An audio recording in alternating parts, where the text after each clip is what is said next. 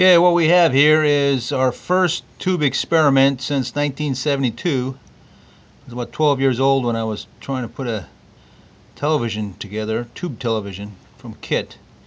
And realized I ran out of some major parts and I gave up. Also studying the tube electronics catalog. And that's as long ago as I messed with the tubes. Anyhow, what we have is an EL84 is popular with the uh, some of the guitar amps. And you can still buy this tube it's still in production. It's the uh, what is it? The 6 Bravo Quebec 5 equivalent tube. What we have is a uh,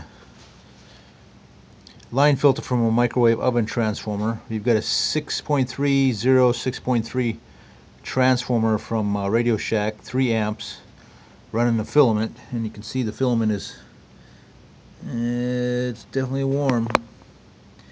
Don't want to put your finger on that thing. That's been running for about 10 minutes. So anyhow what we did we've got the uh, 9 pin socket. Uh, you see that? We soldered some wires in and soldered it into the board.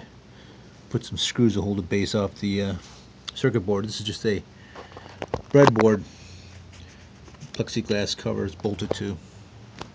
Anyhow, the test results we've got here, this is the schematic. Uh, we've got the heater hooked up. One goes to ground.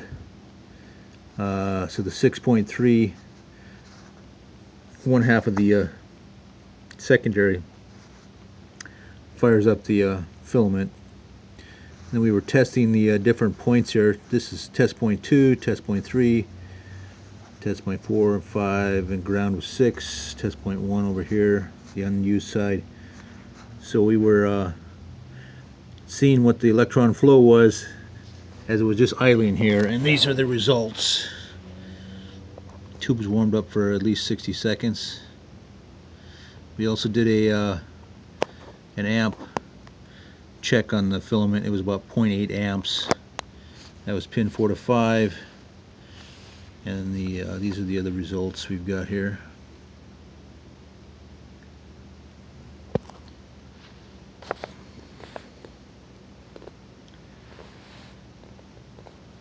Again these are the uh, test point call out. You got test point 1 2 3 4 5 and 6. This is the uh, grid number 1. This is grid number 2. 3 is also hooked to the cathode. And then we get the plate up here is test point number 4.